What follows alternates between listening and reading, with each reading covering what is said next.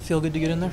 Yeah, it felt nice. Uh, I've had some good practices, and I know the team's been playing well. Um, you know, it's just good to get in and contribute. Um, obviously, Max has been playing great for us, which is great. So just thought I'd go in and try to do my job, and you know, happy we got a point out of that. But obviously, we wanted to, so we got to be ready for tomorrow. You looked confident right away when you went in there. Yeah, I mean that's what I've developed over the last two months. Um, you know, just being in Boise, so it's been good to uh, play a lot of games and play well, and just what I've been doing. So. With uh, I haven't watched you play much, obviously, being Boise, but it looked like your gloves. I'm going to about to nerd out a little bit here. Was your glove a little bit lower where you were, when you were holding it at the start of the season?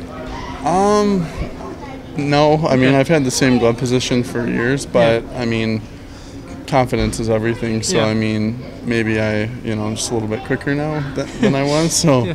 I don't know. Yeah, just feeling good. With uh, with with this team to come back and just about, about them as a group, but you've come back in and just how they kind of uh, you worked with them and that having them, yeah, having them welcomed you and everything. Yeah, it's a good group. You know, I've obviously been here a long time, so it was easy coming back. But uh, yeah, I mean, the team looks great right now. We, uh, you know, we haven't been playing our A game, but we, you know, we're playing well. So things will come, and we'll definitely start winning games. Um, you know, starting with tomorrow. All right, thanks, guys.